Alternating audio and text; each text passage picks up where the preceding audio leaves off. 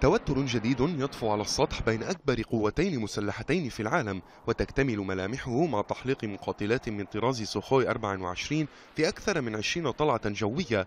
قرب المدمرة الأمريكية يو إس إس دونالد كوك بمسافة قريبة وعلى ارتفاع 33 مترا.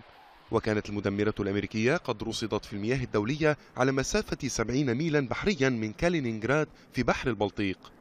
تحليق المقاتلات سبقته طلعات استكشافية لمروحية روسية من طراز كي 27 المضادة للغواصات وثقت طلعاتها بالتقاط بعض الصور.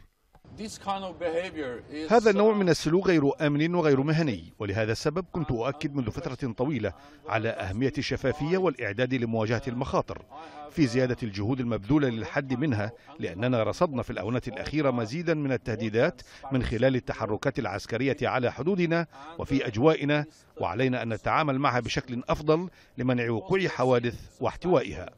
رد موسكو جاء من خلال إعلان وزارة الدفاع الروسية بأن الطائرات الحربية الروسية التزمت بكل قواعد السلامة وأنها كانت تحلق ضمن تدريبات عسكرية وأن مبدأ حرية تنقل المدمرات الأمريكية لا يحد من حرية تحليق المقاتلات الروسية.